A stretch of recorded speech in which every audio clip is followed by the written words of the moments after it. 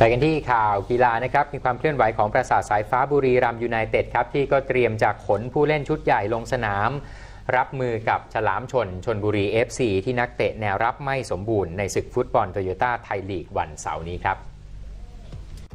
ฟุตบอลโตโยต้าไทยลีกสัปดาห์ที่ 8 วันเสาร์นี้มีแข่งขันกัน 4 คู่ คู่ big match เป็นการพบกันระหว่างบุรีรัมย์ยูไนเต็ดกับชลบุรี FC เวลา 17นาฬิกา45นาที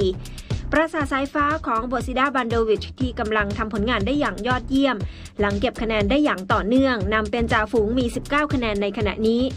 ความพร้อมของบุรีรัมย์เกมนี้ยังมีดิโอโกหลุยส์ซานโตที่ซัด hat trick ในเกม derby match อีสานนัดกลางสัปดาห์ บุกไปเอาชนะอุบล UMT มา 3 ประตูต่อ 2ทำให้ดาวยิงแซมบายิงไปแล้ว 102 ประตู ในการรับใช้ปราสาทสายฟ้า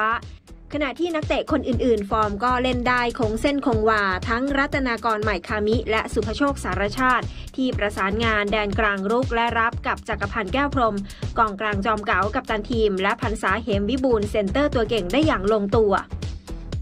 ด้านฉลามชลเริ่มคืนฟอร์มเก่งในช่วงหลังด้วยการชนะมา 2 เกมติดต่อกันรั้งอันดับ 10 ที่มี 10 คะแนน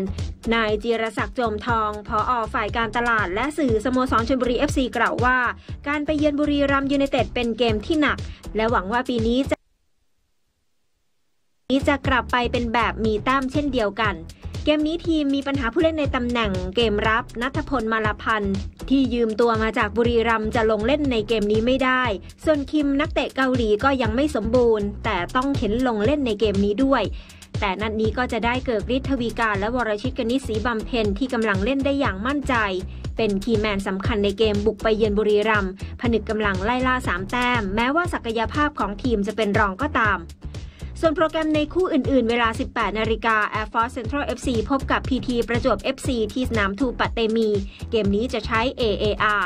เวลา 19 นาฬิกาพัทยายูไนเต็ดพบกับสุพรรณบุรี FC